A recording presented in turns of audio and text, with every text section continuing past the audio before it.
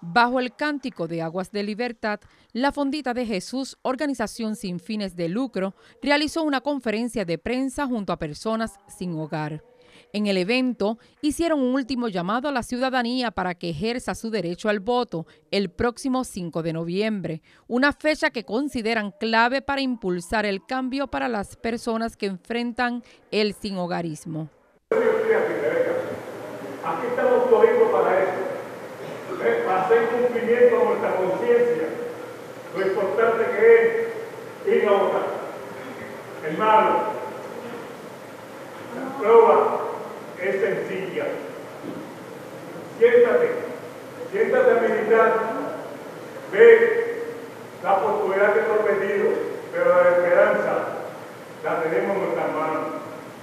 Nuestra mano es solamente en lo que usted decida eso se va a hacer sentir. Durante los últimos meses, la Fondita de Jesús ha defendido el derecho de las personas sin hogar a votar.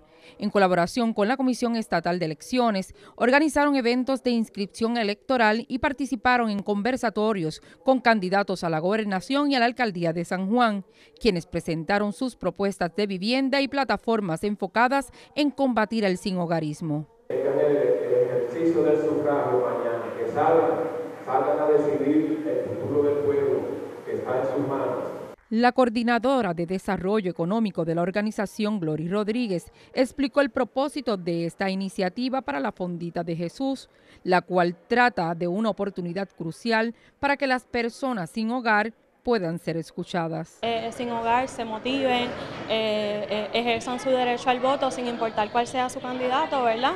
Pero que, que reconozcan que tienen un valor y que tienen derecho a, a expresarlo, a que sus voces sean escuchadas, a que sus historias sean contadas. Para Noti 6, Jorge Negrón en la Cámara y Kenelma Figueroa Ramos.